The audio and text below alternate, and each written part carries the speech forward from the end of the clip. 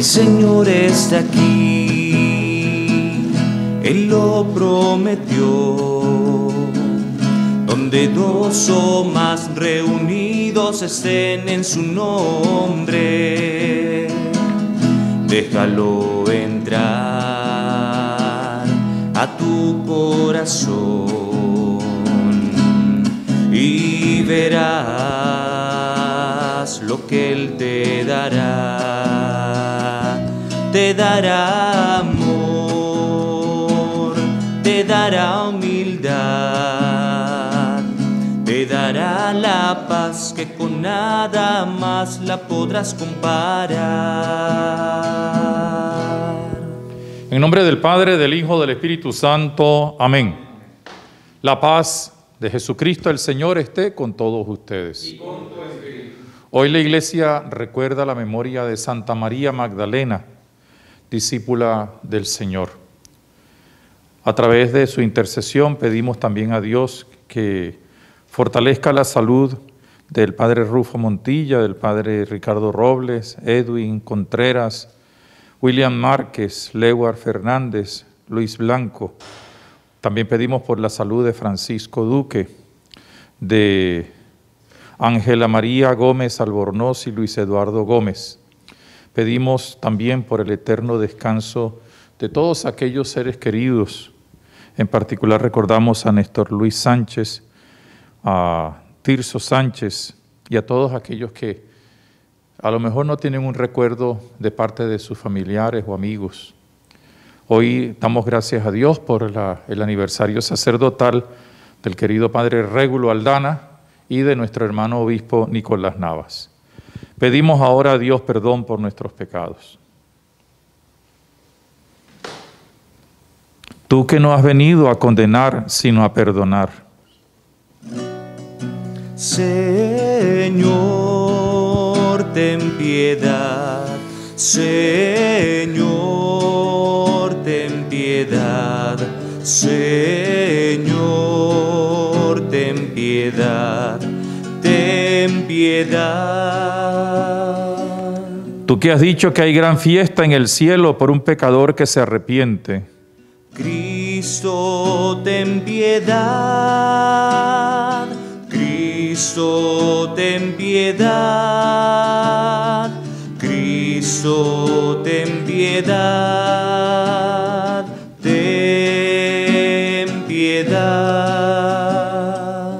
Tú que perdonas mucho a quien mucho ama. Señor, ten piedad. Señor, ten piedad. Señor, ten piedad. Ten piedad. Dios Todopoderoso tenga misericordia de nosotros, perdone nuestros pecados y nos lleve a la vida eterna. Oremos. Señor Dios nuestro, Cristo, tu unigénito, confió antes que a nadie a María Magdalena la misión de anunciar a los suyos la alegría pascual. Concédenos a nosotros por la intercesión y el ejemplo de aquella cuya fiesta celebramos, anunciar siempre a Cristo resucitado y verle un día glorioso en el reino de los cielos. Por nuestro Señor Jesucristo, tu Hijo, que vive y reina contigo en la unidad del Espíritu Santo y es Dios, por los siglos de los siglos. Amén.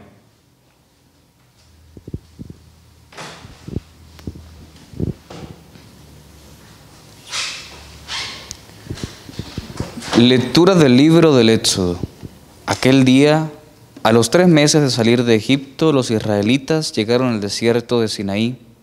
Saliendo de Rafidim, llegaron al desierto de Sinaí y acamparon allí frente al monte. El Señor dijo a Moisés, Voy a acercarme a ti en una nube espesa, para que el pueblo pueda escuchar lo que te digo y te crea en adelante. Moisés comunicó al Señor lo que el pueblo le había dicho. Y el Señor le dijo, vuelve a tu pueblo, purifícalos hoy y mañana, que se laven la ropa y estén preparados para pasado mañana, pues el Señor bajará al monte Sinaí a la vista del pueblo. Al tercer día, al rayar el alba, hubo truenos y relámpagos, y una densa nube sobre el monte, y un poderoso resonar de trompeta, y todo el pueblo que estaba en el campamento se echó a temblar. Moisés hizo salir al pueblo del campamento para ir al encuentro de Dios, y se detuvieron al pie del monte. Todo el Sinaí humeaba, porque el Señor había descendido sobre él en forma de fuego. Subía el humo como de un horno, y todo el monte retemblaba con violencia. Al sonar de la trompeta, se hacía cada vez más fuerte. Moisés hablaba y Dios le respondía con el trueno. El Señor bajó al monte Sinaí, a la cumbre del monte, y llamó a Moisés a la cima de la montaña. Palabra de Dios. Bendito eres, Señor, Dios de nuestros padres. Bendito eres, Señor, Dios de nuestros padres. A ti la gloria y la alabanza por los siglos. Bendito tu nombre santo. Bendito eres, Señor, Dios de nuestros padres. Bendito eres en el templo de tu santa gloria. Bendito sobre el trono de tu reino. Bendito eres, Señor, Dios de nuestros padres. Bendito eres tú, que sentado sobre querubines sondeas los abismos. Bendito eres, Señor, Dios de nuestros padres. Bendito eres en la bóveda del cielo. Bendito eres, Señor, Dios de nuestros padres.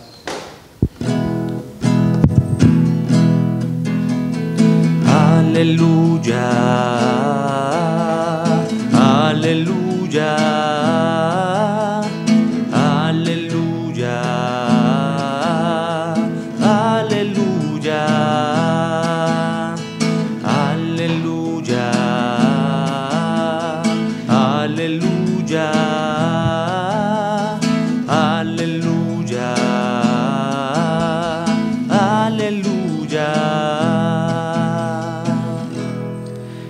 El Señor esté con ustedes.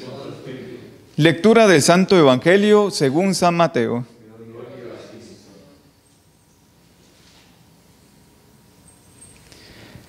En aquel tiempo se acercaron a Jesús los discípulos y le preguntaron, ¿por qué les hablas en parábolas? Él les contestó, a vosotros se os ha concedido conocer los secretos del reino de los cielos y a ellos no. Porque al que tiene se le dará y tendrá de sobra, y al que no tiene se le quitará hasta lo que tiene. Por eso les hablo en parábolas, porque miran sin ver y escuchan sin oír ni entender. Así se cumplirá en ellos la profecía de Isaías. Oiréis con los oídos sin entender, miraréis con los ojos sin ver, porque está embotado el corazón de este pueblo son duros desde oído, han cerrado los ojos para no ver con los ojos, ni oír con los oídos, ni entender con el corazón, ni convertirse para que yo los cure. Dichosos vuestros ojos porque ven y vuestros oídos porque oyen. Os aseguro que muchos profetas y justos desearon ver lo que veis vosotros y no lo vieron, y oír lo que oís y no lo oyeron. Palabra del Señor. Gloria a ti, Señor Jesús. Por esta palabra del Santo Evangelio sean perdonados nuestros pecados. Amén. Amén.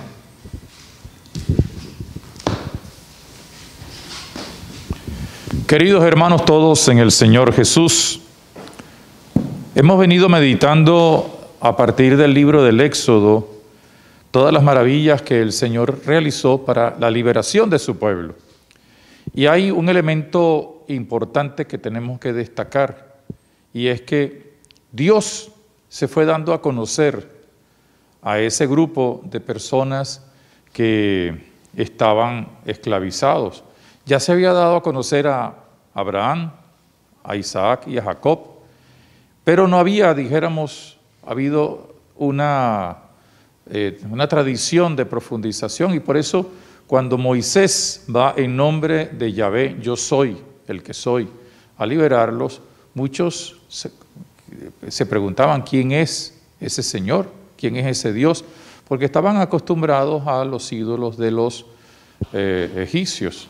Y entonces Moisés tiene que hacer un trabajo inmenso, no solamente liberar al pueblo, sino hablarle a ese pueblo de quién era Yahvé, que no se podía ver en piedra, no se podía ver en ningún, en ningún ídolo, sino que era un Dios personal que actuaba. E incluso el mismo Faraón lo retaba. Mis dioses sí son poderosos, porque los vemos, los tocamos. ¿Tu Dios dónde está? Y el Dios de Israel estaba precisamente presente en persona en medio de su pueblo. Y hay dos acontecimientos que hemos meditado en estos días, el, mar, el paso del Mar Rojo, cuando los israelitas entonces le echan en cara a Moisés, bueno, ¿para qué nos sacaste aquí? Ese Dios tuyo, en el fondo están diciendo, nos ha traído aquí, hubiera sido mejor quedarnos allá en, en Egipto y no morir. Y sin embargo, el Señor se manifiesta, haciendo que el pueblo pase por el Mar Rojo a pie enjuto y luego destruye a los enemigos. Y posteriormente, como lo recordábamos en este, ayer, el, el, el, hambre les hace exclamar, ese Dios tuyo, mejor hubiera sido que nos hubiéramos quedado allá comiendo eh, cebollas amargas, o por lo menos podíamos comer y no aquí, y Dios se manifiesta. Y hoy el texto del, del capítulo 19 del libro de los, del Éxodo, que es un capítulo muy importante porque es cuando comienza a dibujarse la alianza entre Dios y el pueblo, da el primer paso. Dios no está representado en piedra, ni en madera, ni en estelas, como los dioses de los otros pueblos, sino que es un Dios que implica una relación personal. Y entonces en un momento determinado, luego de tres meses, como nos dice la palabra de Dios, el Señor se va a manifestar de una manera especial, en lo que se suelen llamar las teofanías, las teofanías. Dios que se manifiesta. Y entonces le dice a, a Moisés, reúne, vete al pueblo, purifícalo, porque me voy a acercar a ti. Y me voy a acercar a ti a través de una nube para que el pueblo pueda escuchar lo que te digo y te crea a ti ahora en adelante. No crea los augurios malos o las maledicencias de los que están por allí peleando, ¿verdad? Y entonces al tercer día Dios se manifestó en una densa nube llena de fuerza, con, con relámpagos. ¿Para qué? Para manifestar que Él estaba allí. Dios se va revelando para que el pueblo entienda que Él, que es poderoso, que es capaz de producir rayos, que es capaz de hacer muchas cosas, fue el que los liberó de Egipto y que los está llevando hacia la tierra prometida. Es todo un proceso de conversión. Fíjense que va poquito a poco Dios revelándose, Dios se va dando a conocer y el pueblo entonces tiene que ir aprendiendo a conocer a Dios no buscarlo donde no está, sino buscarlo donde está. ¿Y dónde está Dios? Ciertamente que en todas partes. Y ciertamente que en esa nube y en ese monte que simbolizan la fuerza y el poderío de Dios, hablan de dónde está verdaderamente Dios, en medio de su pueblo.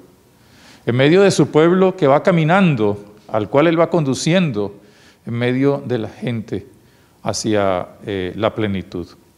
Todo esto es un anticipo de lo que Jesucristo, Dios y hombre verdadero, viene a realizar con el misterio de la encarnación. ¿Y qué es lo que viene a realizar Jesucristo?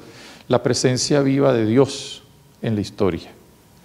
Y por eso, aunque eh, tengamos miles de, de conocimientos a través de la teología, de la palabra de Dios, la mejor manera de reconocer, conocer y vivir el misterio de Cristo y por tanto del Padre y del Espíritu Santo es descubriéndolo en medio de nosotros. Este es el mensaje número uno de este texto que luego iremos meditando del, capítulo 19 de San, del, libro del Éxodo. Dios que se manifiesta, Dios que se da a conocer ahora. Los israelitas no lo terminaban de conocer, no lo terminaban de entender y por eso reclaman, preferimos volver o mira, antes era mejor, porque no habían descubierto que ese Dios que los había sacado de Egipto no los iba a dejar morir y les iba a dar el pan, el maná que baja del cielo. Y que ahora entonces sí se les empieza a manifestar con una manifestación, como lo veremos después en la lectura continua de este libro del Éxodo, se, se, manifestará con una alianza y entonces comenzará una nueva relación. Yo soy, es, yo soy tu Dios y tú, tú eres mi pueblo. Veámoslo de la otra perspectiva. El pueblo le va a poder decir a, a Dios, tú eres mi Dios y yo soy tu pueblo. Esta enseñanza nos ayude a nosotros a reconocer la presencia viva de Jesucristo que nos salva y que se manifiesta de muchas maneras, pero particularmente en su palabra y en su Eucaristía, para que entonces, entrando en nosotros, nosotros nos convirtamos para toda la gente, para todos aquellos conocidos y desconocidos, creyentes y no creyentes, en esa manifestación, en esa teofanía continua de Dios. Máxime que el mismo Jesús nos ha convertido en hijos de Dios. Que el pan y el vino que vamos a ofrecer que se van a convertir en el cuerpo y la sangre del Señor nos ayude a entender que tenemos que ir día a día conociendo más a Dios y que Él se manifiesta verdaderamente presente en medio de nosotros.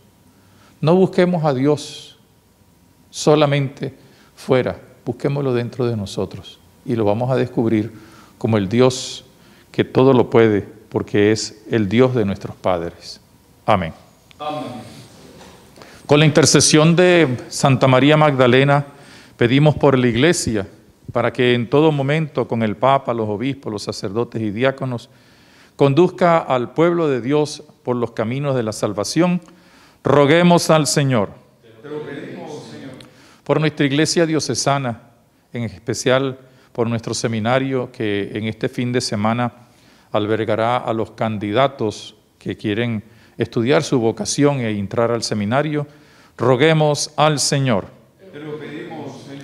Por la iglesia del Caroní que está comenzando una nueva etapa de su vida con el obispo Gonzalo Alfredo y los sacerdotes, diáconos, religiosas, laicos comprometidos, roguemos al Señor. Pedimos también por tantos enfermos que se, se acogen a nuestra oración o necesitan de una oración, no solamente para sanar su cuerpo, sino fortalecer su espíritu, roguemos al Señor.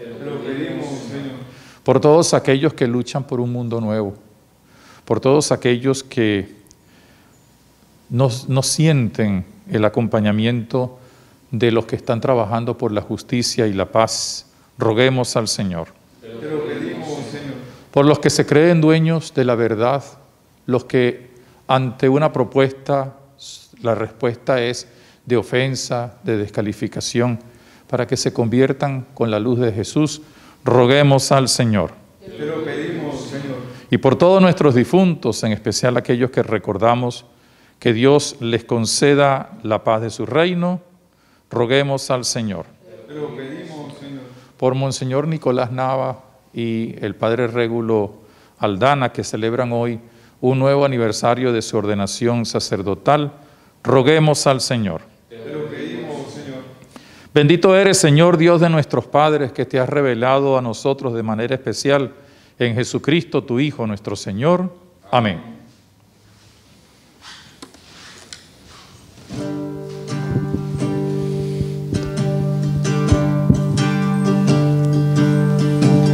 Quiero, Señor, mi vida ofrecer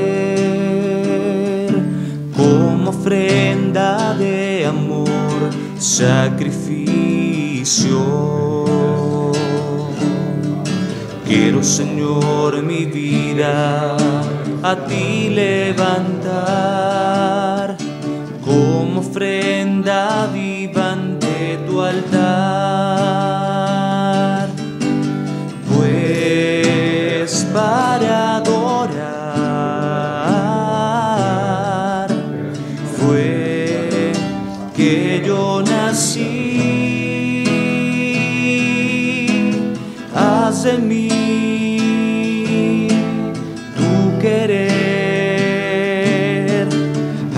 Lo que está en tu corazón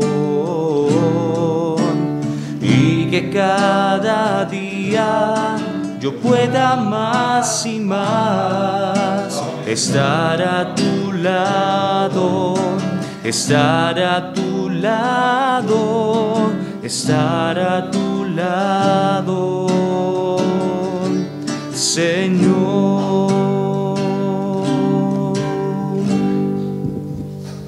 Y en el momento de ofrecer este sacrificio de la iglesia, oremos hermanos a Dios Padre Todopoderoso.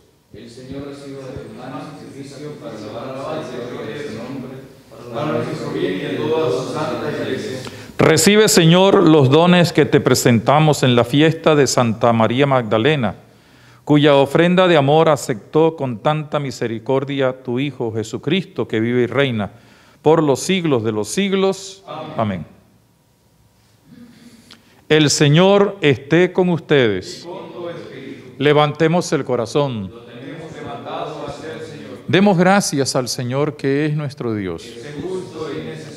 Te damos gracias, Padre de bondad, y te glorificamos, Señor, Dios del universo, porque no cesas de convocar a hombres de toda raza y cultura por medio del Evangelio de tu Hijo, y los reúnes en un solo cuerpo que es la iglesia. Esta iglesia vivificada por tu Espíritu resplandece como signo de la unidad de todos los hombres. Da testimonio de tu amor en el mundo y abre a todos las puertas de la esperanza. De esta forma se convierte en un signo de fidelidad a la alianza que ha sellado con nosotros para siempre. Por ello, Señor, te enaltecen el cielo y la tierra, y también nosotros unidos a toda la iglesia, proclamamos el himno de tu gloria. Santo, santo, santo es el Señor Dios del universo. Llenos están el cielo y la tierra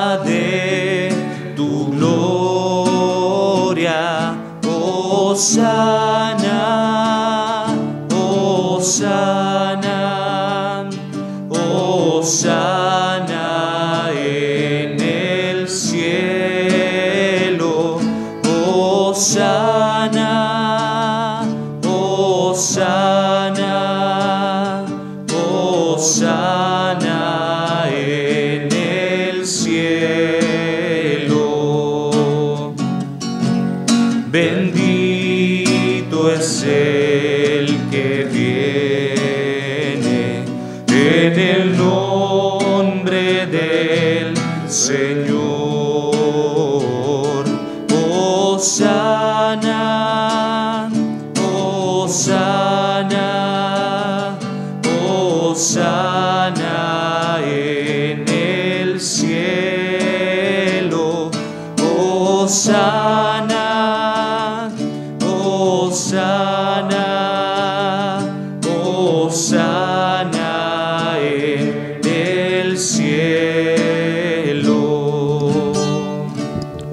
Te glorificamos, Padre Santo, porque estás siempre con nosotros en el camino de la vida.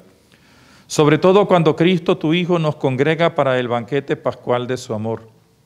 Como hizo en otro tiempo con los discípulos de Emaús, Él nos explica las escrituras y parte para nosotros el pan. Te rogamos, pues, Padre Todopoderoso, que envíes tu Espíritu sobre este pan y este vino, de manera que se conviertan para nosotros en el cuerpo y la sangre de Jesucristo, Hijo tuyo y Señor nuestro. Él mismo, la víspera de su pasión, mientras estaba a la mesa con sus discípulos, tomó pan. Te dio gracias, lo partió y lo dio a sus discípulos, diciendo, tomen y coman todos de él, porque esto es mi cuerpo que será entregado por ustedes.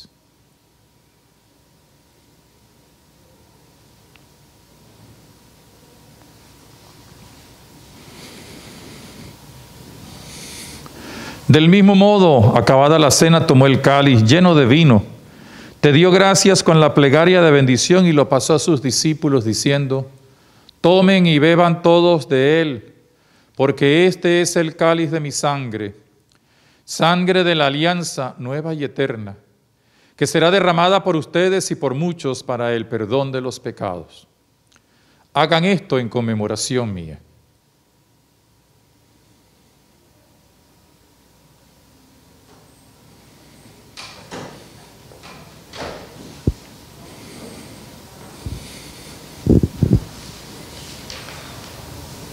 Aclamemos el misterio de la redención. Cada vez, cada vez pan y beberemos cáliz, anunciamos tu muerte, Señor, hasta que vuelva. Por eso, Padre de bondad, celebramos ahora el memorial de nuestra reconciliación y proclamamos la obra de tu amor. Cristo tu Hijo, a través de sufrimiento y de la muerte en cruz, ha resucitado a la vida nueva y ha sido glorificado a tu derecha. Dirige tu mirada, Padre Santo, sobre esta ofrenda. Es Jesucristo que se ofrece con su cuerpo y con su sangre, y por este sacrificio nos abre el camino hacia ti. Señor Padre de misericordia, derrama sobre nosotros el espíritu del amor, el espíritu de tu Hijo. Haz que nuestra iglesia de San Cristóbal se renueve constantemente a la luz del Evangelio y encuentre también nuevos impulsos de vida Consolida los vínculos de unidad entre los laicos y los pastores de tu iglesia, entre mí, indigno siervo tuyo, mi hermano Juan Alberto, obispo auxiliar de esta iglesia de San Cristóbal, sus presbíteros y diáconos, entre todos los obispos y el Papa Francisco, que la iglesia sea en medio de nuestro mundo, dividido por las guerras y discordias, instrumentos de unidad, de concordia y de paz.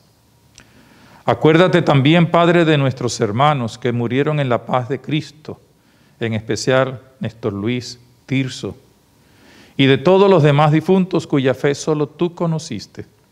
Admítelos a contemplar la luz de tu rostro y llévalos a la plenitud de la vida en la resurrección. Y cuando termine nuestra peregrinación por este mundo, recíbenos también a nosotros en tu reino, donde esperamos gozar todos juntos de la plenitud eterna de tu gloria. En comunión con la Virgen María, Madre de Dios, los apóstoles y los mártires, San José, el esposo de la Virgen, Santa María Magdalena y todos los santos, te invocamos, Padre, y te glorificamos por Cristo, Señor nuestro. Por Cristo, con Él y en Él, a ti Dios Padre Omnipotente, en la unidad del Espíritu Santo, todo honor y toda gloria por los siglos de los siglos. Amén.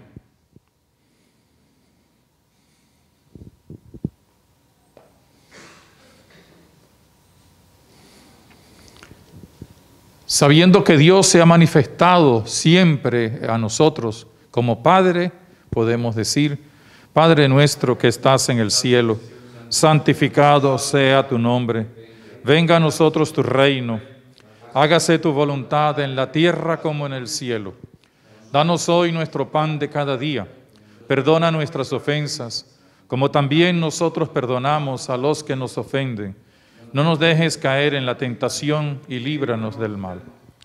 Líbranos de todos los males, Señor, y concédenos la justicia y la paz en nuestros días, para que, ayudados por tu misericordia, vivamos siempre libres de pecado y protegidos de toda perturbación mientras esperamos la gloriosa venida de nuestro Salvador Jesucristo.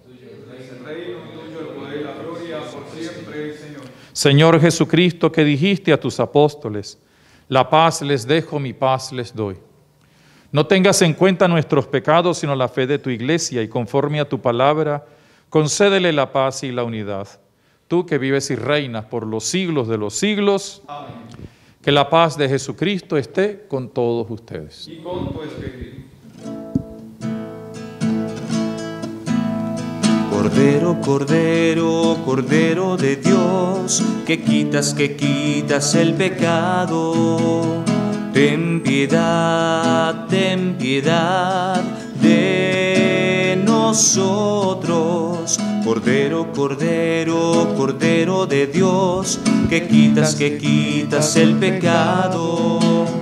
Ten piedad, ten piedad nosotros.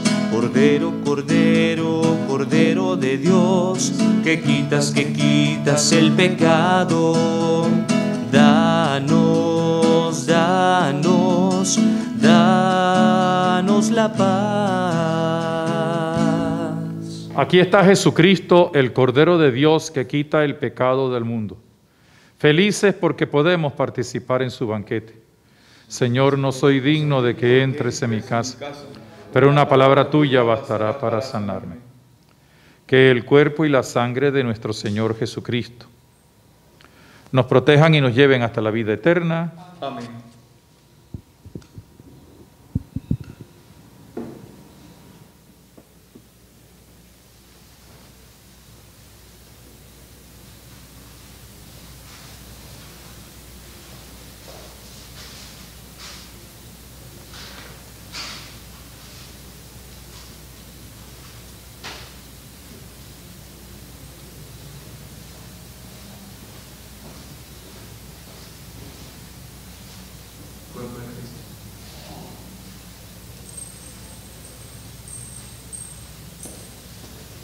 reason.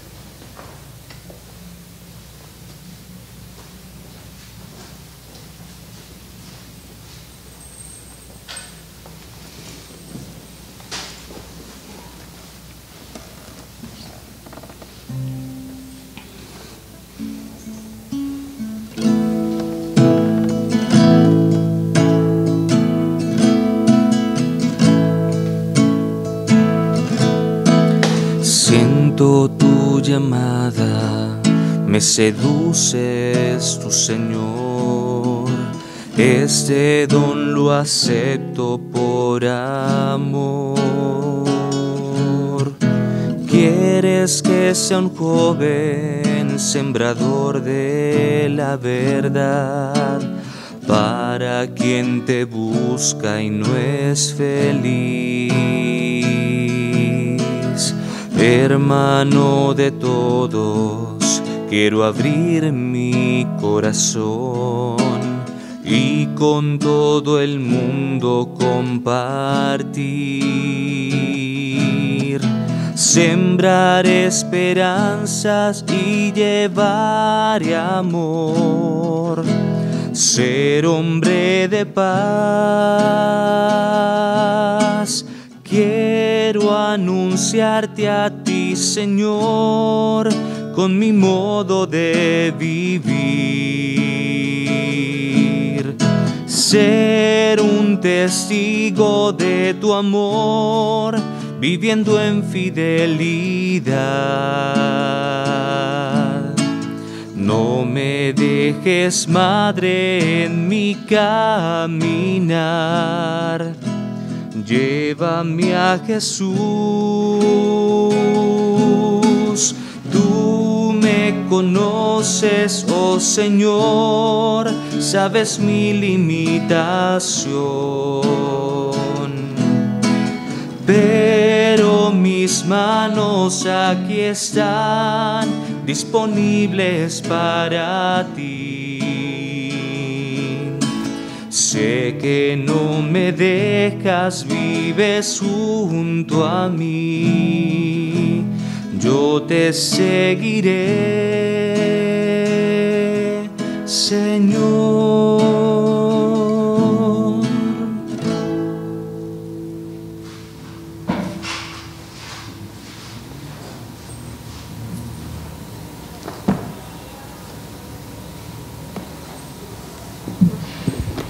Oremos.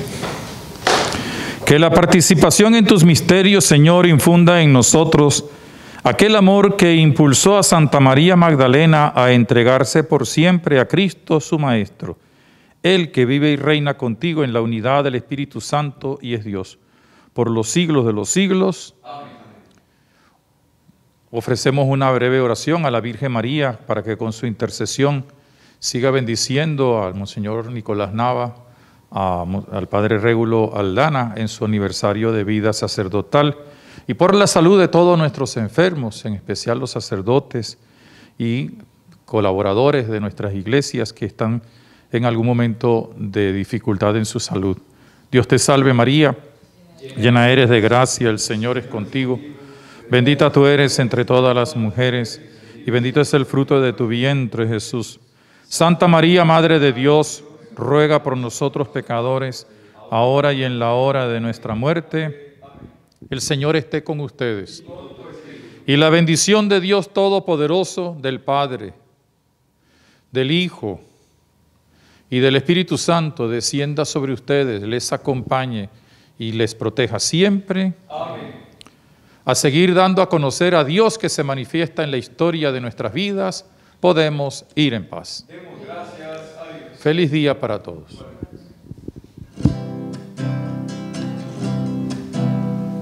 Era una mujer sencilla, una mujer tranquila, una mujer como otra, pero con un alma grande, con un gran amor en el corazón.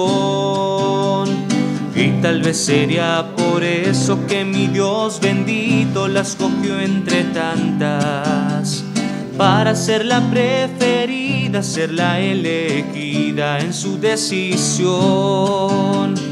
Dijo si no pregunto por qué, amó y no pregunto por qué, y sufrí y no